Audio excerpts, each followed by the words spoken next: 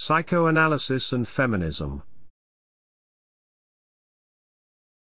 The debate between psychoanalysis and feminism has been long and often acrimonious. Although it begins with the discussions of the so-called phallic stage of development that took place in the 1920s and 1930s, it took on a new importance in the 1970s as questions of gender and its reproduction came to the fore, and as feminists, such as Juliet Mitchell, reacted against the anti-psychoanalytic stance taken by many of the early spokeswomen for women liberation.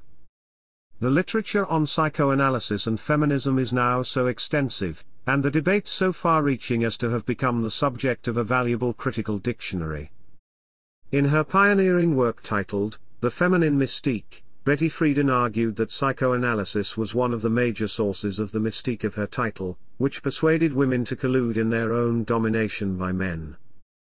Simone de Beauvoir, for her part, had already described psychoanalysis as encouraging, or even engineering social, conformity that was detrimental to women's interests.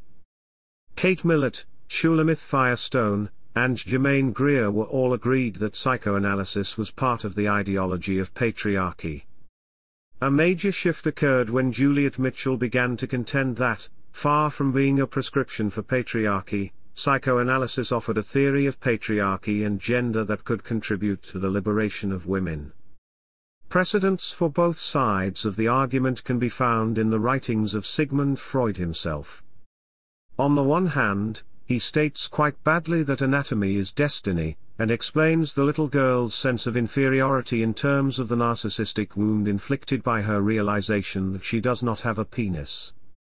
Elsewhere he argues that, whilst psychoanalysis cannot describe what a woman is, it can help to elucidate how she comes into being, how a woman develops out of a child with a bisexual disposition.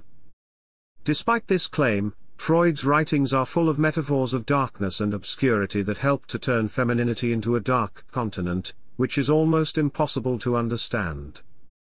It was the references to a sense of inferiority, and the stress on penis envy, which defined women as incomplete males, that were so offensive to writers like Millett. The Freudian notion of penis envy was the central issue in the early debates over the phallic phase, or that stage in psychosexual development in which children of both genders believe in the existence of only one genital organ. The girl's realization that she does not have a penis leads her to conclude that she once had one but has been castrated, and she then embarks on the long process of feminization, which will lead her to transform her wish for the penis into a wish for a child arguing that the psychoanalysis that so offended many feminists was in fact a vulgarized, or revisionist version of Freud, Mitchell and others, like Jacqueline Rose contend that Jacques Lacan's return to Freud offered a solution. Others suggested that feminism was in danger of being seduced by psychoanalysis. Lacan's main contributions to the debate are the concepts of the symbolic, the phallus, and the name of the father, which do move the discussion away from the biologism of Freud's remarks about anatomy and destiny. However, these concepts also create new problems. In fact, it is difficult to find precedents for the use of phallus, rather than penis in Freud, and the link that is established by Lacan between the phallus and access to the symbolic is vulnerable to Jacques Derrida's accusation of phallogocentrism. The importance ascribed to the name of the father can, for its part, be seen as a rearguard action against the greater emphasis that is placed on mothering by Melanie Klein, Donald Winnicott, and Nancy Chodorow.